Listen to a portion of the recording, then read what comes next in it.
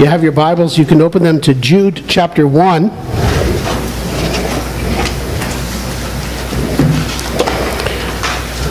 Verse 3. Jude is writing, and he writes these words. He said, Beloved, while I was making every effort to write you about our common salvation, I felt it necessary to write to you, appealing that you contend earnestly for the faith which was once for all handed down to the saints. Let's start with a word of prayer and then we'll, get into the message this morning. Lord, we just come and we do thank you for the great privilege we have of being here today. We thank you that we can worship you in song. We thank you now as we worship you through your word. We pray that you will speak into our hearts and into our lives, I pray. And Lord, then as we gather around your table, that you would uh, just allow us to fellowship with you in your communion, I pray. I pray in Jesus' name. Amen. Now, I have to confess that I am finding this to be a very challenging message to preach. There's every once in a while you have a message that you just say, "Yeah, I really should have somebody else come and preach this message for me." Uh, in this case, I probably should have a Presbyterian come and preach this message this morning. Uh, certainly not a Baptist. The uh, title for the message this morning is Baptist Persecution, Theology, and Man made traditions. And so, if you are visiting with us this morning, um, we don't normally spend a lot of time hailing Baptist um, traditions and Baptist. Um, you know, saying, well, we're so wonderful and so great. But today I'm going to be doing that. Uh, and that's where I feel a little bit kind of awkward about the whole thing, being that I am a Baptist. But the reason for that is because we're starting a new series starting today, and the series is going to run for the entire summer. It's called You Asked For It. And so this is, comes out of the asked for it. And so I'm just going to get into my notes here. Killing Baptists was cool in the day. That uh, day may come back sometime. Baptists have always dared to stand apart, to be different, to march to a different drum. We have a history as Baptists to not follow the trend, theologically as well as morally and socially. And that tradition goes way back, farther than a lot of people would even consider. Again, this new series that we have started, you asked for it. I have the card here with me. And so if you remember, we put these out there and you could write topics on there. And out of that, we have three questions. And those are the three questions I'm going to be dealing with this morning. The first one is, what did, uh, why did the Protestants persecute Baptists back in the day? The second question is, why do Baptists embrace uh, uh, Reformed theology, thinking of if the Protestants persecuted the Baptists, Baptist, why did we as Baptists now embrace the very theology of the people who persecuted us? And then the third question, what are man made traditions within the Baptist church? And so we're going to look at those. Um, and, and I I, I quoted this verse here, and, and I told my wife, I'm going to do something I hate doing. It's called springboarding. It's where you quote a verse and then you don't even deal with the verse. We, we, we are going to deal with the verse briefly from the standpoint that uh, clearly we're called to contend earnestly for the faith that was once passed down for to us. And what we're going to see is that there were groups of people down through church history that have consistently and always contended earnestly for the faith that was handed down to them. And we're going to look at that today. Now, I have to start by saying that I am a bit biased. I was raised in the Baptist church. I was born, I believe, on a Sunday, and I was in church the next Sunday in Cambridge, Ontario, in a Baptist church. And that's been my life. I have not been part of a non Baptist church for my entire life. On top of that, my mother was raised in a Baptist church over in the Netherlands. And my mother's father was raised in a Baptist church over in the Netherlands, making her, uh, his parents, my, my mother's grandparents, uh, to be Baptists in a day in which it was cool to kill Baptists. And so they definitely ran the risk of being killed for their faith as Baptists in the Netherlands. I am a Baptist pastor because I believe that the way we as Baptists do church is the most biblical way. I don't apologize for that. I absolutely believe that. If I thought that there was another church that was doing it more biblical than we are, that's where I would be. Because I'm committed to the Word of God and the Word of God first and foremost. This may again feel like an us versus them message, and it's not intended to be that way. If it sounds that way, I apologize for that right now. That is not my goal. I believe that the Lord has his children scattered throughout the church. In every denomination, there are those who know and love Jesus Christ, and it's been that way and been true down through the centuries. But this morning is going to be a bit on the Baptist side. So if you're not Baptist, if you come from a different background, you may feel a little uncomfortable this morning. And you may feel those Baptists think an awful lot about themselves. And I apologize for that. But somebody wrote these questions. And as we went through them, it was like, well, who's going to deal with those? I got elected to do that. So it was nice of Mark and Inza to let me do this. One of the things that is interesting, we just celebrated 150 years of Canada. Baptists have been involved in Canada for over 200 years. In fact, there's a little church in a little town called Sawyerville, Quebec. My wife, as a child, attended that church after her family came to faith in Christ. That church is considered to be, if not the oldest Baptist church in Canada, the second oldest Baptist church in Canada. It's over 200 years old still going strong for the Lord. It was always an English church, but just recently they have actually become a bilingual church. And so they have an English service, they have a French service, and occasionally they have a bilingual service. So where they have everybody together. So they're continuing to go strong in their community. And so and that's one of our fellowship churches, actually. So if you're not familiar with us, we're a Fellowship Baptist church. We're part of 500, about 500 churches across Canada, about 300 churches in Ontario and English-speaking Quebec, and then we have a lot of churches in Quebec, a lot of churches out in BC. We have a few scattered in the prairies, and we have a few down east. And so that's kind of where our base is. So why was killing Baptists cool back in the day? And that's a good question. I'm going to use an article from baptistbasics.org slash baptist slash b007 so if you want to look it up you can look it up. It's up there. You can write that down. You can go and you can get this article yourself Many Baptists are very particular. Now, this is the article, so this is not my words. I'm sharing these points with you. I'll tell you when I come to an end of this article. Many Baptists are very particular about which terms they uh, use to apply to themselves. They often shun such labels as evangelical or ecumenical. Uh, definitely, I'm familiar with the not being ecumenical. Um, the evangelical, I get that some of them would say, no, we're fundamental, not evangelical, because evangelicalism today has definitely been watered down. One term that is often used to describe Baptist is Protestant, and so we've been called Protestants. But we need to look at the question are we as Baptists Protestants? And, and I have to confess, I do not believe that Baptists are Protestants. Uh, and, and so this article, I believe, restates that. And I've got two other little booklets. If you want to borrow them, you can. That would help you understand a little bit more about why I would say that we are not Protestants.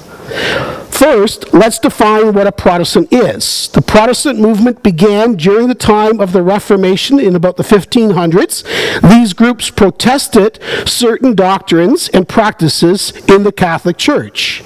Among things uh, they protested uh, were the sale of in indulgence, um, salvation by works, and papal authority.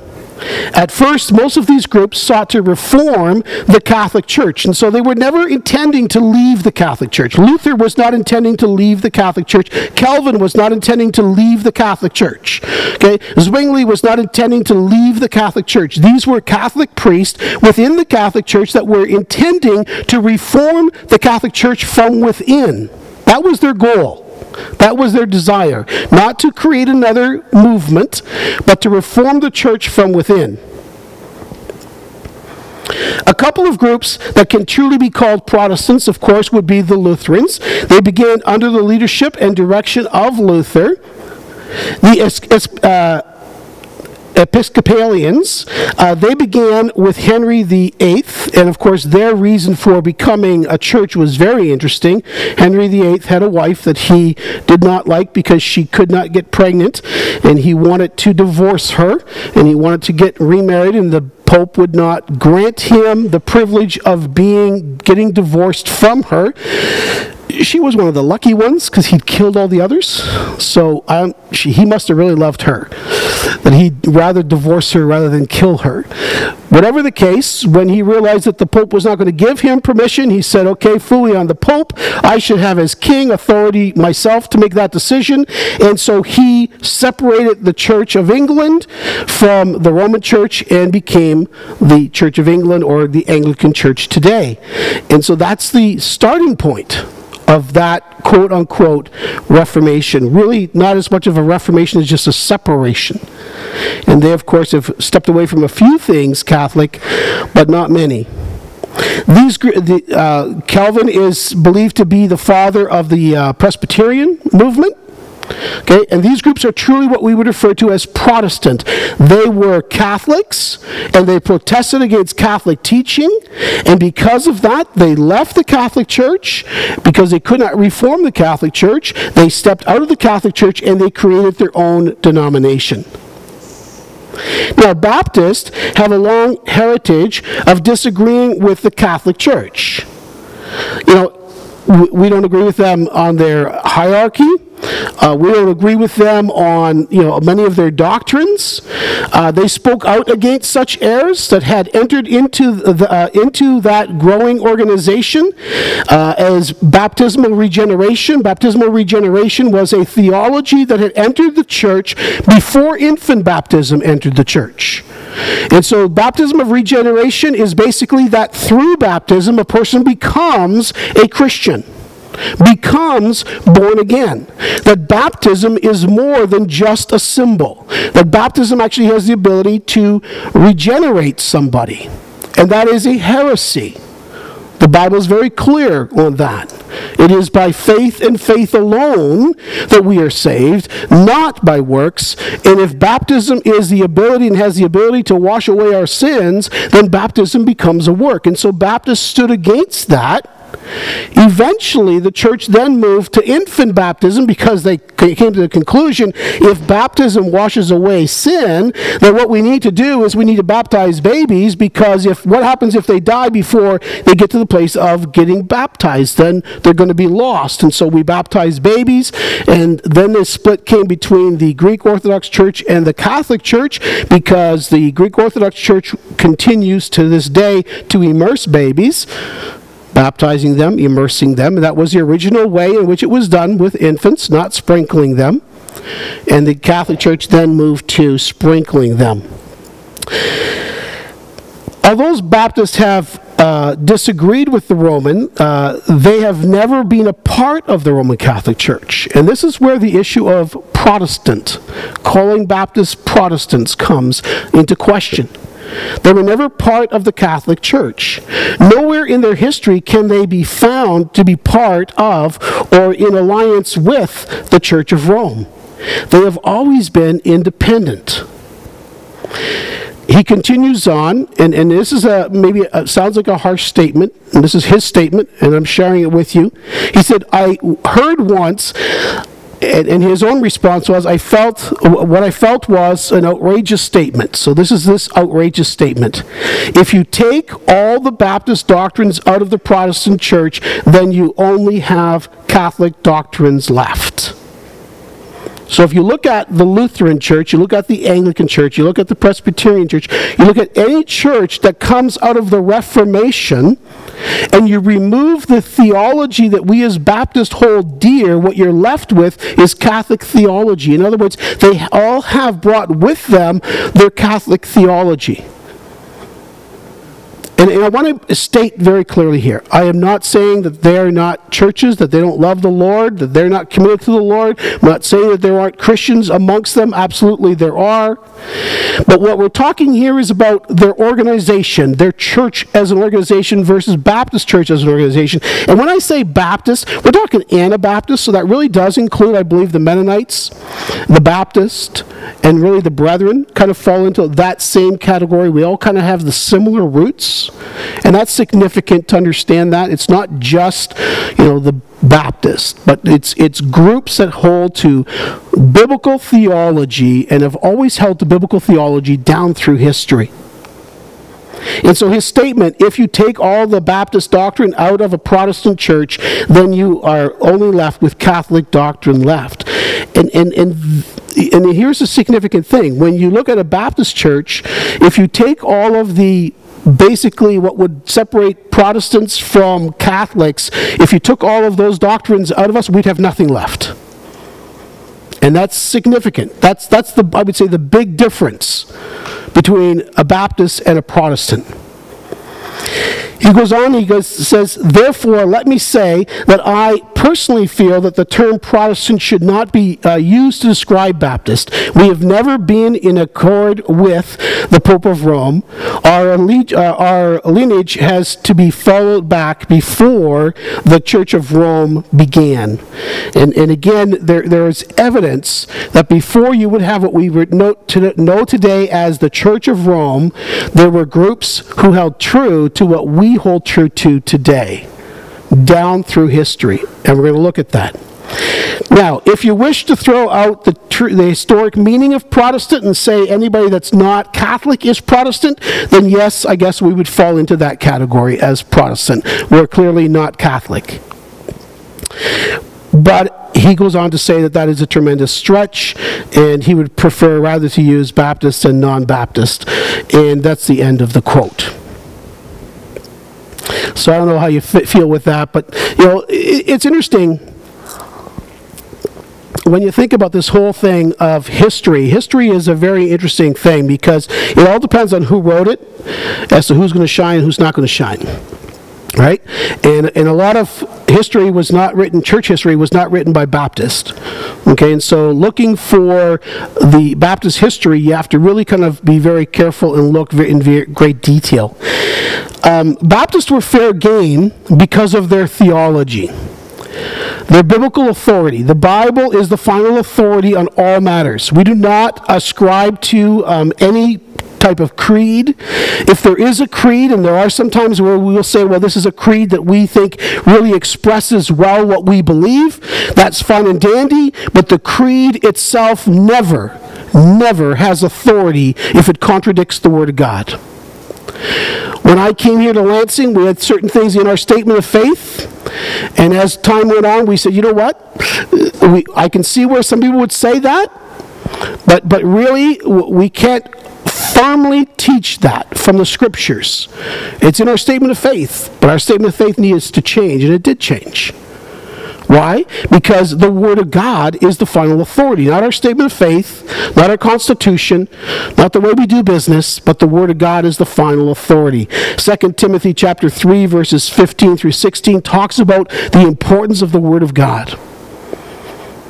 And it's the Word of God is the final authority. Peter talks about the fact that the Word of God in 1 Peter chapter 20, sorry, chapter 1, verses 20 and 21, that Scripture comes from God and is not open to private interpretation. So we cannot just make it say what we want it to say. We need to be faithful to the Word of God. The second reason and second theology that we as a, a Baptist held to and, and, have held to is the autonomy of the local church. The local church is an independent body accountable to Jesus Christ himself as the head. He, we're not accountable to Feb Central. We're part of Feb Central, but Feb Central, which is an office down in Toronto, they represent us. We don't represent them. They have no authority over us. We, in fact, have authority over them. And so we as a local church, and, and that's why you'll find if you've uh, been part of the Baptist church for any length of time, it is interesting. You can go into a Baptist church, a Fellowship Baptist church here in Sudbury, and then go to a Fellowship Baptist church somewhere else, and they can be very different And the reason is because we're independent. And everything that is done here locally, the finances are raised here locally for that. We don't get money from anywhere else, and we also get nobody telling us what we can and cannot do. We are under the authority of the Word of God and under the authority of Christ.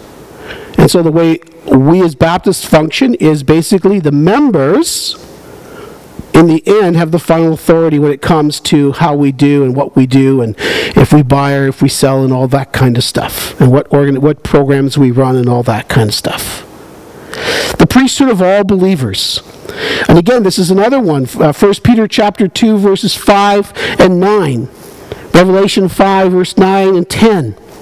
And we believe in the priesthood of all believers. That was something very different. We do not have a hierarchy. And yes, we did ordain Pastor Inza, and he's now the Reverend Inza Flietstra. And Pastor Mark is the Reverend Mark Smith, and I'm the Reverend Jack Flietstra. But guess what? Do you ever hear somebody calling us that? People don't even call me pastor, and that's perfectly okay. Because guess what? If my name, Jack, was good enough for my mom, it's good enough for you. And I am not above you. And Mark and Eanes are not above you. We are with you. We are together in ministry, together in service. And that's one of the things that set the Baptist Church apart down through the centuries is the fact that the pastors were not clergy.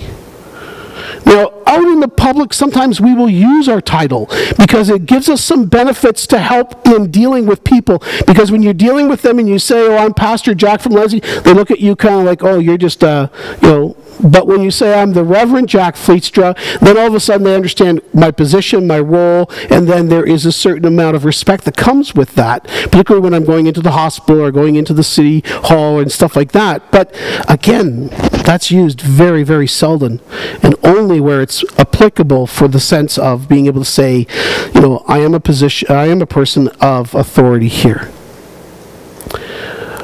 But understand that the priesthood of all believers is that we believe that every person is responsible before God. And every person has access to God themselves. The two ordinances, the ordinance of baptism and the ordinance of the Lord's Supper. And again, within Baptist circles, there definitely have been those who would say that baptism has to be occur before you can take the Lord's Supper. There are Baptists who say, no, that's not the case. And here, here we don't police the Lord's Supper. If you are a child of God seeking and to live in obedience to Him, then you're commanded to take part in that. It's an ordinance, not a sacrament. And that's one of the things that separates us from the Protestants. They have sacraments. We do not. Sacraments are means by which we bestow God's grace upon someone. It's a way in which we get God's grace. An ordinance is simply an act of obedience because we've been ordered, we've been commanded to do so. Individual soul liberty is another thing that separates Baptists from the Protestants and from the Roman Catholics. And that was one of the big ones that caused the persecution to happen. One of the big ones was soul liberty. So the, the, the, the, ones that were the really big things that caused the Baptists down through the history to be persecuted by first the Catholics and then the Protestants. And I have to say, during the Reformations, the, the Baptists came out of hiding thinking that they had finally found an ally in the Protestants because a lot of the doctrines that the Baptists believed, these guys had now embraced. And we'll talk about that if I still have time. And... Um, Anyways, basically, the three things were the mode of baptism, the fact that you have to be baptized as a believer upon your profession of faith by immersion, the uh, individual soul liberty. Those two in particular were things that caused the church to say, no, we cannot accept that. And so, soul liberty is basically the belief that every person has the right to believe what they want to believe. And we're not going to impose that. State churches, on the other hand, would impose you have to believe as we believe, and that's where the persecution came in. If you did not believe as we believe, then you would be persecuted. Baptists in the Netherlands had been approached by the, I think, then king of the Netherlands to become the state church of the Netherlands, and they refused. And one of the reasons would have been because of this issue of individual soul liberty, the liberty to stand before God and give an account for themselves as to why they chose to reject the gospel of Jesus Christ. And there was no forcing uh, and no persecution for not believing as we believe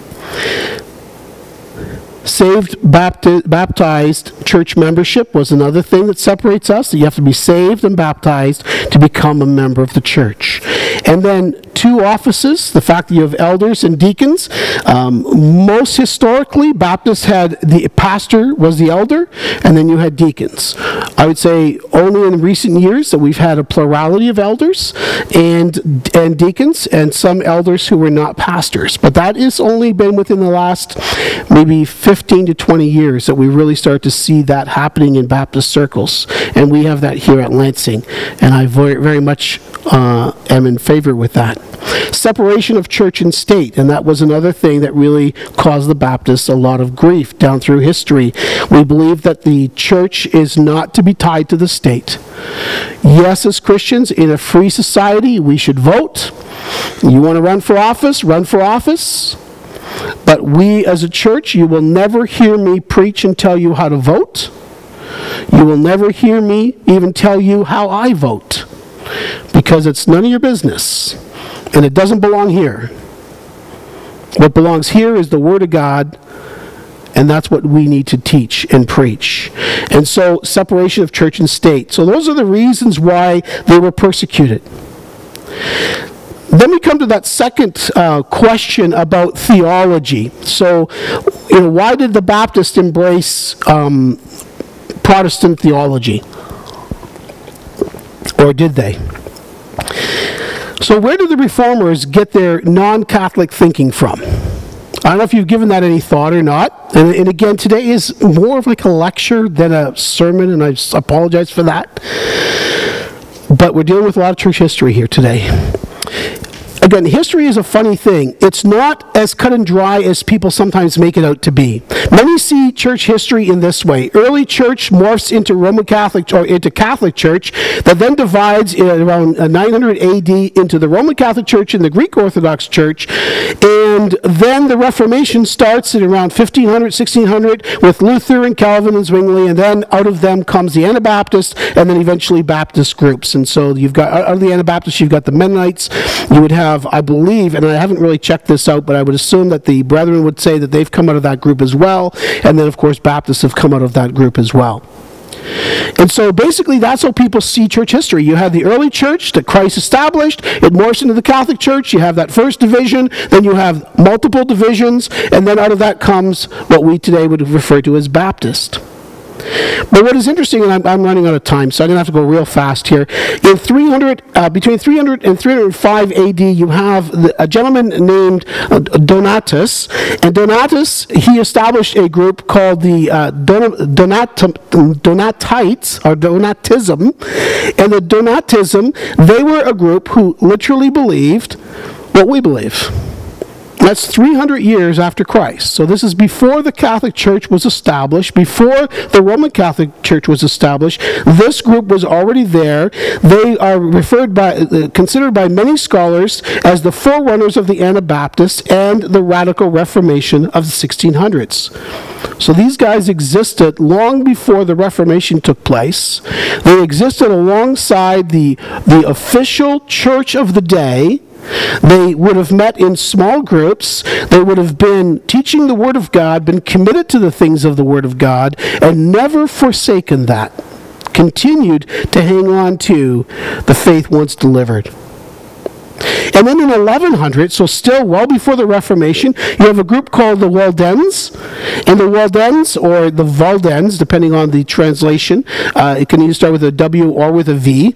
probably with a V, but the V in the Dutch language is often pronounced like a W, so that's where the confusion may have come in that. This group, um, many of them ended up uh, migrating to England, and uh, they came into England. They were uh, not allowing for their children to be baptized. They were anti uh, infant baptism. And so both the, the, um, the Papists or the, the, the, you know, the Catholics and the Protestants at that time, although the Protestants really approved of their lifestyle, they also considered them to be Baptist in their teaching. And William of Newburgh, he said of the Waldenses, that uh, they detest they, they detested holy baptism, which is again infant baptism, and they were as numerous as the sand. So there was lots of them. People who were committed to the Word of God and not following into and following with the teachings of the church of that day. That's 1100. So that's still 400 years before the Reformation took place. And between the 300 and the, and the 1100, there's multiple groups there that uh, we could look at that also continue to hold to some of the very basic teachings that we hold to. In 1395, we have a group called the Lollards, and they adopted the beliefs of Wycliffe and John Huss, both who were put to death, and their ministry, uh, and their own ministry, and uh, and were winning popular support, it is true they denied infant baptism and believed that the main task of a priest was to preach Moreover, that everyone should have access to a Bible in their own language, but the denial of infant baptism more than, uh, than the Baptist faith was seen as a great heresy. This is all before the Reformation. These people were committed to the Word of God, committed to biblical truth before the Reformation ever happened. Now that's significant because that raises the question who influenced the influencers? Who influenced the influencers? We know that before the Reformation, there were people who embraced biblical theology. We know that Calvin married an Anabaptist. I don't know if you knew that or not. Calvin's wife was a widow. She'd been married to an Anabaptist pastor, and she was widowed. And Calvin ended up marrying her, and he speaks very highly of her and the influence that she had in his life.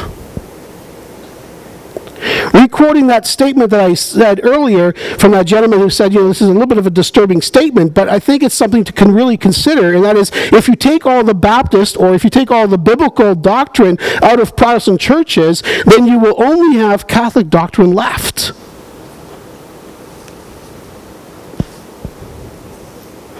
What seems to have happened is that is, uh, is not that Baptists embraced Protestant theology, but that in fact Protestants embraced Baptist theology and biblical theology. And that along the way, Luther and Calvin and Zwingli and these guys were actually influenced by these small groups and pockets of people who were faithful to the Word of God down through the history of the church. So, where did the confusion come from? The theology that the reformers taught did not start with them, they did not get a new idea. And I know that we're going to celebrate the Reformation in the fall, and I think it's very appropriate for us to celebrate the Reformation in the fall and to celebrate these very biblical truths that the Reformation brought forward. But it's important to understand that down through church history, there have always been groups who have held on to the five solas.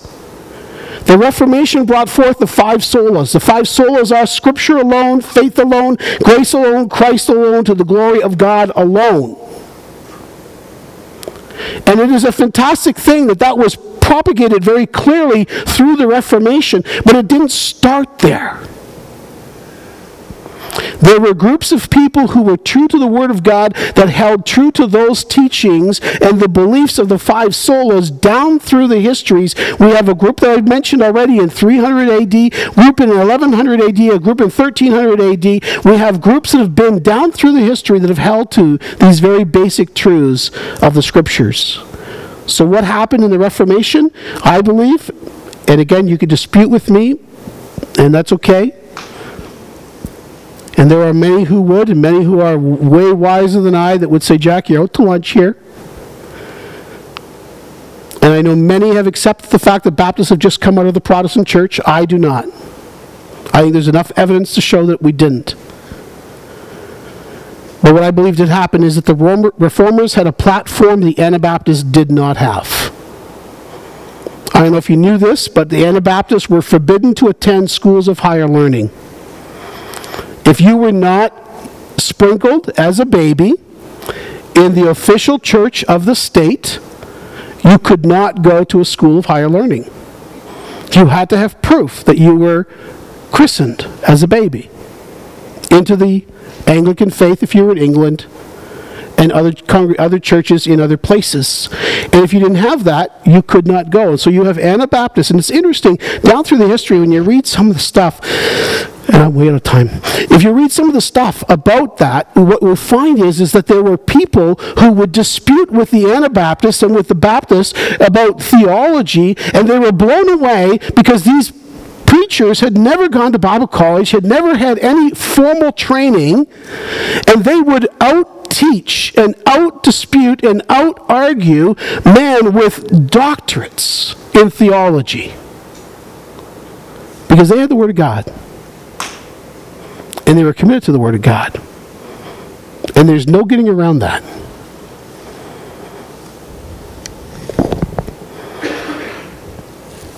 My last main point dealing with the third question is this What tradition should we as Baptists shed? Do we as Baptists have man made traditions that are unique to Baptists? In short, the answer is no, we do not. No, we don't. We, we literally don't. I have, I have searched, I've talked to other pastors and said, what are man made traditions that we as Baptists have that are, that are us, that, that, that says this is a Baptist tradition? I mean, we worship we worship at 10 o'clock on Sunday. That's a man made tradition. It is. But that's not traditional to us. That, that's true for every church. But meeting together on the first day of the week is not man made. That's biblical. Um, the order of our service is man made. That's true. There's nowhere that says we have to sing three songs and then have the kids come up and then do this. That's man made for sure. But the fact that we do our service and what we do in our service is not man made. We see throughout Scripture singing and preaching and praying and all of the things that we do in our service are all straight from the Word of God. We have children's programs. That's man made. Nowhere in the Bible does it say you have to have a children's program on Sunday morning for the kids. But what we do, you know, teaching the children, that is not man made. We're told in Scripture to teach our children. We, use, uh, we used to have Sunday nights and Wednesday nights, both of those are man made. We used to have rules about smoking and drinking and dancing and going to movies. Those are all man made. The way we do uh, membership is man made. But the concept of membership is not man-made. So, in fact, the, you know the way we do it as a Baptist church, where you have to talk to two of the elders and then give your testimony or answer three questions and have the church vote that's man-made. We get that. But the concept of being a member is not man made. See, man made would be anything that we do that is not explicitly taught in Scripture. And so, yeah, there are some things that we do that are not explicitly taught in Scripture, but they're not harmful to the body of Christ. So, why did the Protestants persecute Baptists back in the day? Because of our commitment to biblical theology. Why do Baptists embrace Reformed theology, particularly Calvinism? We didn't. We influenced the reformers. What are man-made traditions in Baptist church? None that would harm that would be harmful to the work of God. So then the question is, what do we do with this? This is an odd sermon, I know. What do you do with this? First of all, rejoice in our history. We have a long history. We really do. In Canada alone, our history is over 200 years old. And, and literally, and I mean, there are some books that want to trace us right back to Christ. Maybe we can, maybe we can't. That really doesn't matter. But there's always been people who have been committed to the Word of God. And that's the final. Hold on to the faith once delivered to us. Let's pray. Lord, we just come and we do thank you for this opportunity to look at our history and to reflect upon it from and in your Word of God and to recognize that you've called us to something very precious. And Lord, I pray that we would not take that for granted, that we would recognize that by your grace, we are where we are today. May we be faithful to holding forth the gospel of Jesus Christ. May we recognize that the most important thing of this whole message is that we want to be a people who, are, who accept the authority of Scripture and nothing else. And that our faith is in Christ and Christ alone. I pray in Jesus' name. Amen.